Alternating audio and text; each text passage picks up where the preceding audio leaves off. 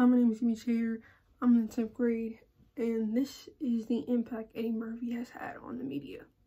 Eddie Murphy was born April 3rd, 1961, in Brooklyn, New York. He skyrocketed to fame when he was casted on Saturday Night Live.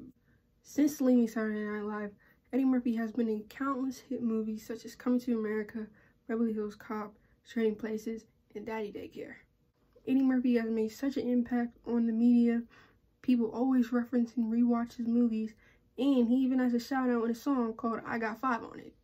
Suck up the dank like a slurpee, the serious bomb will make he delirious like Eddie Murphy. Later on in his career, he shifted over to more kid-friendly stuff since his stuff in the 90s and 80s were not kid-friendly. So he did movies like Daddy Daycare, Voice, Donkey, and Shrek, and uh, did Dr. Dolittle. So that's the impact Eddie Murphy has had on the media.